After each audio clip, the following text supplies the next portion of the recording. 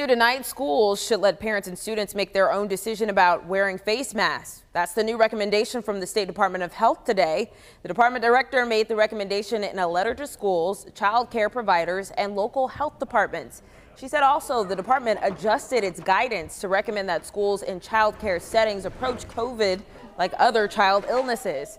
And the department is revising guidance to recommend that kids exposed to COVID-19 no longer must stay home, whether they were wearing a mask or not. Des Moines Public School District told KCCI that it's going to keep requiring masks because few students have been vaccinated and there are only three weeks left of school this year. But they will be revisiting some mitigation efforts for summer programs and hope to begin a normal school year in August.